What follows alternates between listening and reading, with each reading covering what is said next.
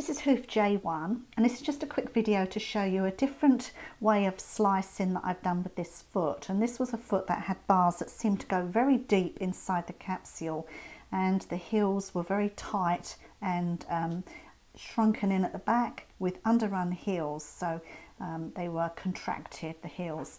So if I turn it round, you'll see where I've done my slice, which is quite different to what I've done previously. I've actually gone in the direction of the tubules and this is what we get. And the coolest thing about that is that we are seeing a window into here, which is a window looking into the navicular bone. And I believe that what we're looking at here, this sort of yellow appearance, I believe that's the navicular bursa.